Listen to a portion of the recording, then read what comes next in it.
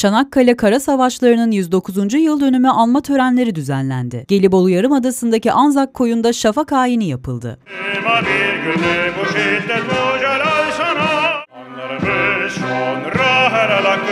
Törene Avustralyalı ve Yeni Zelandalı binlerce Anzak torunu katıldı. Milli marşlar okundu.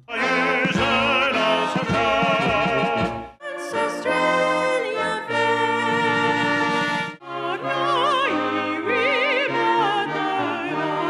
Ardından Anzakların Karanga adını verdiği toplanma çağrısı yapıldı.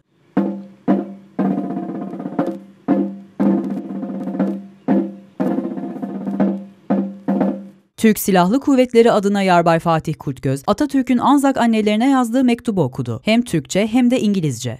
Onlar bu toprakta canlarını verdikten sonra artık bizim evlatlarımız olmuşlardır. Tören son takdis duasıyla sona erdi.